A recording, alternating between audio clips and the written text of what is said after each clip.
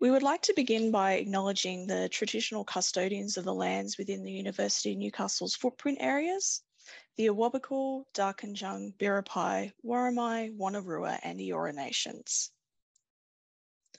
So today we're here to talk about the creation of the Researcher Skills Toolkit. The toolkit guides researchers from HDR students to established academics through their research journey, whether they're commencing a research degree program or embarking on a new research project. So the three presenters here today are part of a team of four research liaison librarians. We are part of the academic engagement team and our roles provide support to HDR students and researchers and staff of the university. I'd like to take this opportunity to thank Nicole Gammy, who was a research liaison librarian during this project, and she's since moved on to a new role. So the research liaison librarian role is relatively new, was created in 2019 after the library had a restructure. As we were adapting to the new roles, we started identifying areas that the library could provide more support or resources in. Um, during consults with HDR students, we noticed that a lot of students would see us um, because they were told to. They didn't really know why they had to see us, and they didn't really know what support or services we provided. So we started to workshop the idea of a resource that the HDR students and, and researchers could use that would prepare them for their HDR journey or their research project journey and would possibly prepare them for their, um, their first initial consult with us. So the project group for the toolkit began in 20, early 2022 and consisted of many of our academic engagement uh, team members, including the research liaison librarians, our group lead, uh, Debbie Booth, the research and scholarly communications advisor, Lisa Ogle, the manager of the academic engagement team. We also had support from teaching and research support librarians, our managers, the copyright advisor, and the digital library programs team.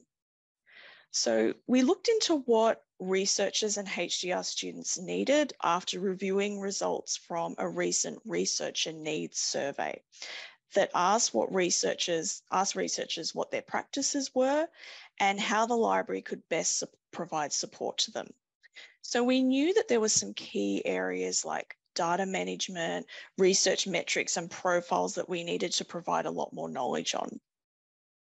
We had a student intern work on an environmental scan of any academic resources that provided uh, an open or an online course, a document or resources that um, outlined the researcher life cycle or gave some sort of orientation for HDR students and researchers.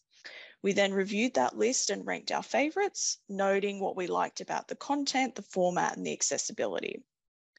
Uh, we also held a focus group with students to provide feedback on various online resources, also looking at things like format, design and accessibility to help us design the toolkit. Their feedback uh, really helped us create some parameters around the toolkit, things like not making it a mandatory module uh, that they had to complete. We didn't want to um, overload them necessarily with you know other things to do.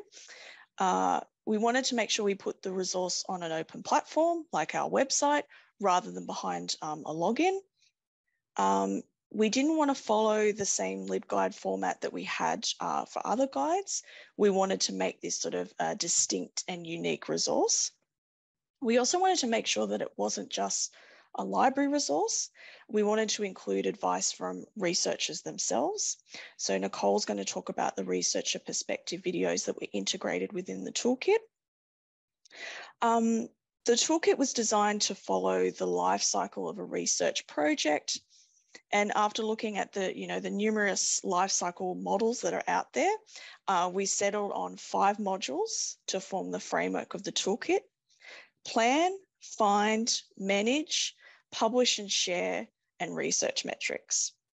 So to create the content, each research liaison librarian was given a module and they were then paired up with a teaching and research support librarian. So the research liaison librarian would draft the content and the teaching and research support librarian would review and provide any feedback regarding the content, typos, things like that. This was also a good uh, learning opportunity for the teaching and research support librarians. If they had any queries or didn't understand any of the content, we could kind of discuss it with them. So after the modules were drafted, we uh, were each then given another module that we had not originally drafted to then review and provide feedback. The LibGuide, the, the site template itself was created by our digital library programs team, and each module was then populated with the material created and reviewed by the working group.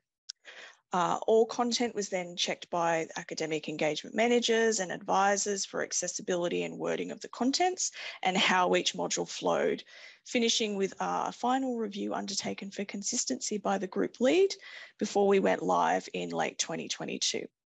Over to you, Nicole.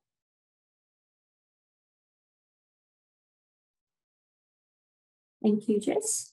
So within the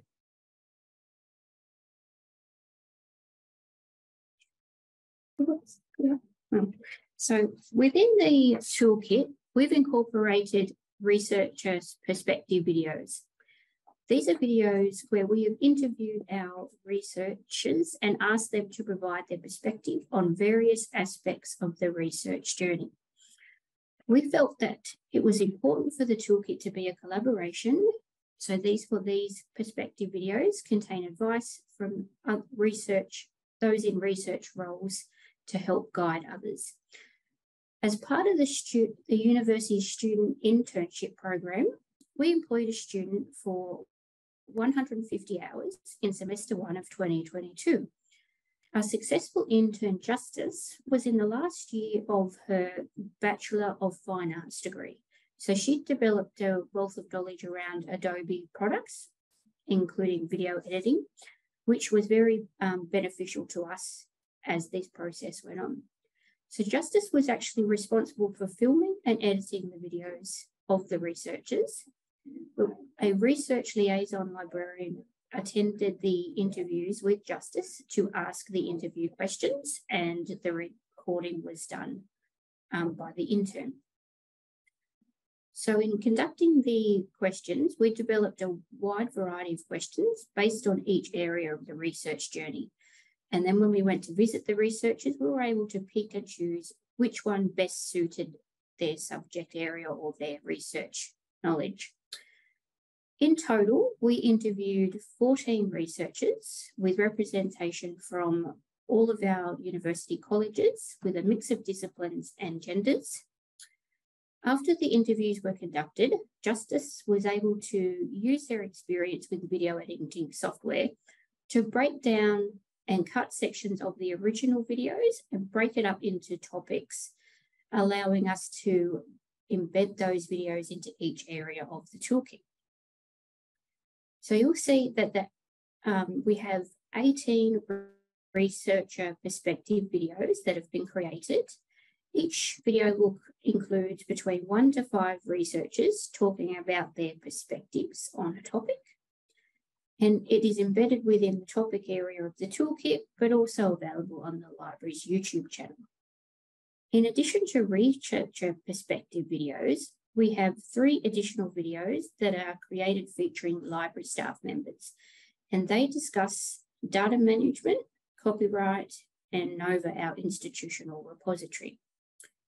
I'm going to hand over to Jennie now, who's going to give you a, a demonstration of the toolkit and also show you one of these videos. Thanks, Jess and Nicole. I'll just uh, share my screen. So Jess and Nicole have given you a great idea of um, how we got from here to there or there to here. Uh, so let, let's have a look at the toolkit now. So you're seeing the toolkit, aren't you? Yep. Yep. Great. so the toolkit is linked from the library homepage. Um, and in essence, it's a LibGuide, but we wanted to create something that didn't look like a traditional LibGuide. Um, and the end, end product looks a bit more like a, a web page rather than the traditional LibGuides that we're all used to. The layout of the panels on the Research Skills Toolkit uh, reflects that idea of, of following a, a, journey that researchers may take. So we've got our plan, find, manage data, publish and share, research metrics, and you'll see we've got also a help map, um, help insight map here. And the images that we've used throughout the Researcher Skills Toolkit feature uh, University of Newcastle staff, students and locations. So if I go into one of these, within the guide, we've incorporated a, a few things to make the navigation easy, such as the left-hand navigation panel within each of the modules, but there's also links across the top that will take you back to each of the, the tiles or those modules that we saw in the beginning.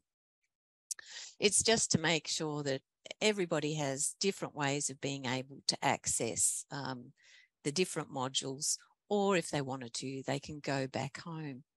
And the other thing that can be done is that each of the modules can be shared or embedded in other resources um, such as Canvas courses through the URL at the top of the page, or if you go into each of the separate sections, there's a URL as well, as we all know from a, a LibGuide. If we go back to this find information. So the other thing that we found is that some of these modules can be used regardless of where the researcher is in their um, researcher career. So this find information module is actually very useful to anybody who's studying regardless of, of their level um, of research, whether they're an undergrad or postgrad. If we go to the research metrics, we embed um, a link to this page uh, when we're creating metrics reports for researchers uh, and academics, because this will help explain some of the terminology or how you might create some research metrics, what are alternative metrics, those kinds of things. If we go to publish and share, there's information in here um, it's an, an, overview of any of the aspects of publishing, sharing and promoting research that might be of interest to, to any of the, the researchers. Um, and it's all here in one place. And again, we can uh, send a link just to this page if we wanted to. So if we go back, uh, we're on publish and share. So Nicole was talking about the videos that we've embedded in each of these um, modules. And they were to add an element of first-hand practical experience from a range of the well-known academic researchers at the University of Newcastle. Our intern, Justice, edited all the filming that was done and integrated all of the interviews into cohesive professional looking videos um, that include subtitles and music. We wanted the videos to not only be instructive to other researchers, but to also be interesting and engaging. So I'll play this and hopefully the magic of Zoom will give us the sound.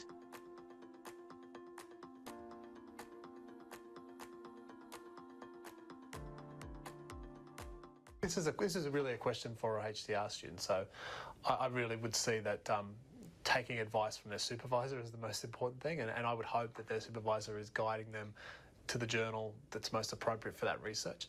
Coming in as a, as a HDR um, researcher who hasn't published before, it's such a mystery, all of these things. So having someone to mentor and guide you, and that might be your supervisor, and if your supervisor isn't very experienced that way, then I would encourage you to connect up with someone who is uh, experienced. It's, it becomes, it's so much easier to publish in high quality journals once you've already published so in high quality journals. I would say if you're publishing your first paper, um, you, you want to kind of you don't want to rush that first paper out too fast.